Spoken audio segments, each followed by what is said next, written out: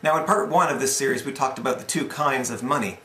Currency, which is uh, usually banknotes and coins created by the uh, central bank in your country, and credit, which is uh, the instruments uh, that are issued by private banks, uh, loans in other words. In this video I just want to focus on currency. In other words, the stuff we use as hand-to-hand -hand money, the stuff issued right now by your central bank, the banknotes, or the coins issued by your government. Now in the past, we have used gold coins or silver coins as currency. In other words, it was the money that people passed from hand to hand in exchange for property and uh, goods or for services. Now gold and silver have international appeal. You can go to just about any country in the world and people will see gold as being something of value uh, something that they think is pretty, something that they can turn into a practical use or even into a, uh, a, a piece of jewelry or something that they can wear. In other words, gold is something that people want. Because people want gold or silver, when they accept gold or silver coins as payment for their uh, property or for their services, they're doing so consensually. They're getting something they actually want and they're giving up something that they want less. It's something they want to do. No one's requiring them to do it. They don't feel forced or coerced in any way. The person on the other end of the bargain is doing the exact same thing. Uh, they're giving up uh, the gold or the silver in exchange for something they want more, the property or the services that the person has to offer. So the trade of valuable property for valuable property or a valuable property for uh, services is a consensual act. Both parties are consenting, there's no coercion involved. This is one way in which gold coins or silver coins differ from the banknotes printed by your central bank or from the base metal coins minted by your government. It doesn't matter what country we choose to talk about, whether it's Britain or Canada or the United States. Let's just go back to a time when the government of the country said, this paper will now be money in the country. Imagine how people felt at the time. Paper? Money? Just because you wrote some numbers on the paper, it's supposed to be money? Of what value is a bunch of paper to me? I can't wear it, I can't eat it. People don't want it the world over. If I take this money that's printed in Canada or by the Canadian government or the Canadian uh, Central Bank, and I go to Pakistan or uh, uh, Russia or uh, any number of other countries, they're going to look at me strangely if I try to pay for goods or services with that paper. And even in my own country at first, why would anybody want to accept payment in the form of paper for real, tangible goods or for services? Well, that would be the question that first occurred to the government before it proposed that paper was to be money. And the answer that all of the governments came up with is this, the law of legal tender. Now you may have seen on one of your central bank notes uh, something that says something to the effect of this note is legal tender for all trades of goods and services, etc.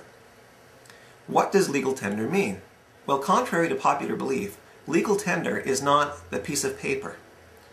Tender is actually a verb, not a noun. A tender is an action. It's not an object. So when you take a coin or a note printed by your central bank and you give it to somebody uh, because they're going to be giving you goods or services in exchange, you're tendering that money to them. You're tendering that paper, tendering those coins. To tender is to give, to offer.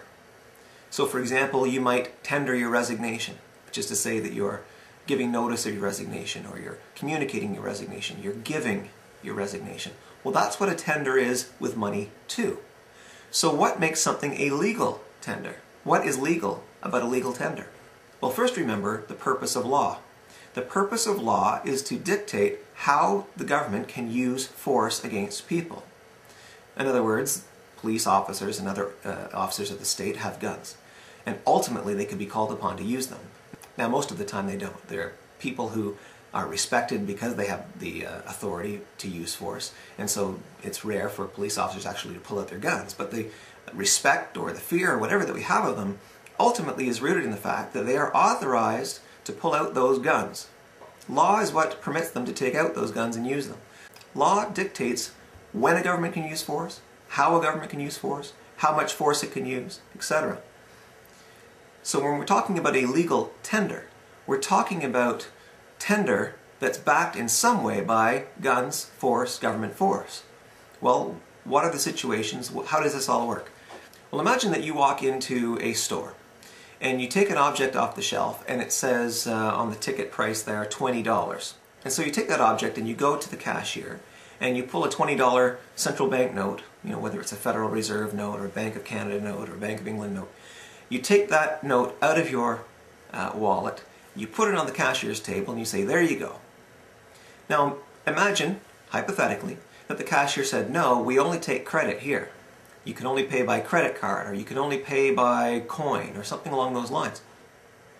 Well, if the exact price was $20 and you offered exactly $20 in uh, Bank of Canada notes or Federal Reserve notes or whatever may be the official currency of your country, the law of legal tender says you offered, you tried to pay, the fact that they turned it down is their own business.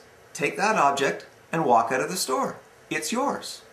In other words, the law of legal tender says that the property in that object that you took off the shelf is transferred to you whether or not the store owner decides to accept your $20 central bank note.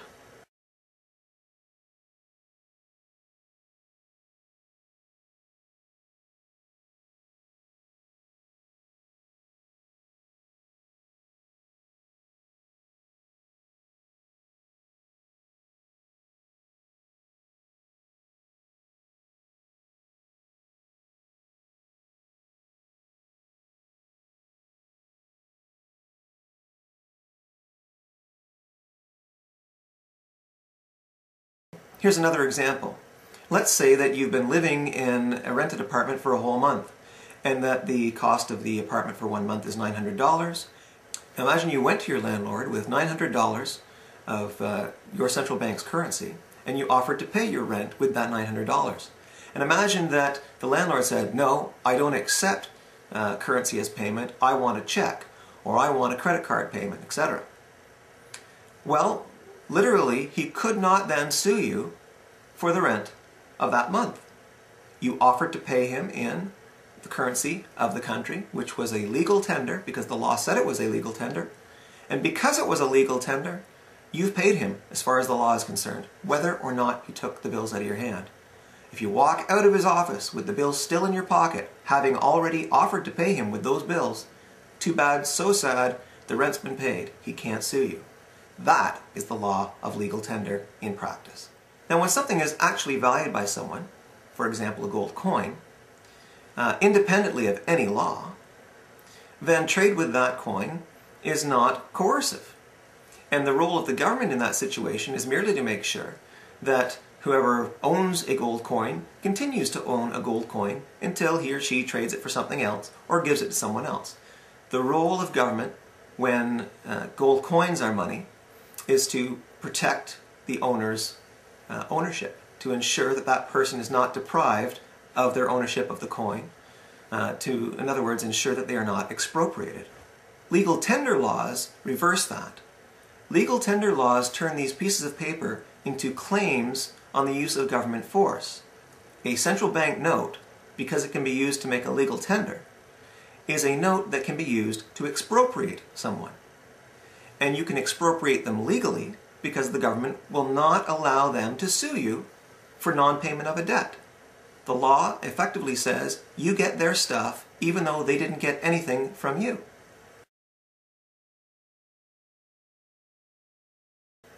So with legal tender laws, a government isn't only a protector of property, it's also an expropriator of property. The role of government changes from mere defense of property to expropriation. Let's go back to the example of the landlord. And let's assume that the landlord knows the law of legal tender, and he knows that if he doesn't take that central bank currency, uh, he's not going to receive anything for the one month of uh, room that he gave you. You might argue that because he agreed to be paid with that central bank money, he consented to the transaction, and that therefore it can't be said that he was in any way coerced. That line of argument is flawed. The fact that a person agrees to be paid with fiat currency, with currency that's subject to these legal tender laws, uh, does not mean that they consented to the payment in that form. Now, let me walk you through a couple of examples to demonstrate that point. First, let's use an example that doesn't involve money per se. Imagine that your employer says to you, sign this letter of resignation and leave, or else I'm firing you. Now, in a situation like that, even if you sign the letter of resignation, you have not resigned. You've been fired. And that's why the law recognizes that fact. Even if you sign a letter of resignation, the common law recognizes that you were in fact coerced. That in fact it was a termination by your employer, it was not a voluntary resignation. The fact that you agreed does not mean that you consented. The same goes with fiat currency, with currency that is subject to legal tender laws. The fact that you agreed to be paid with central bank notes does not mean that you consented to be paid with those notes. The fact remains that you will have lost your opportunity to, for example, sue that tenant for non-payment of the rent.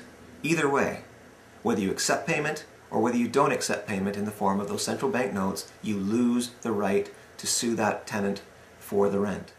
You didn't consent to the loss of that right to sue. It was taken from you. The room was taken from you on terms that you didn't agree to. Now let's consider an example that does involve fiat currency, although not the kind you're used to. Imagine that you're willing to accept a fresh apple in exchange for a $1 silver coin. Now imagine that your government has passed a law, brand new law, saying that if a person tenders an apple core in exchange for a $1 silver coin, then whether or not you agree to accept that apple core as payment, you will be deemed by law to have been paid for that $1 silver coin. And the person who paid with that apple core, or attempted to do so, now owns the silver coin. You, on the other hand, are left with an apple core, having lost your silver coin to the person who tendered the apple core. That was an exchange that you would never have consented to, and that in fact you did not consent to. Even though you agreed to receive the apple in exchange for the coin, you were coerced into giving the coin in exchange for that apple core. You were coerced not only by the law, but ultimately by the person who used the law, the person who tendered that apple core.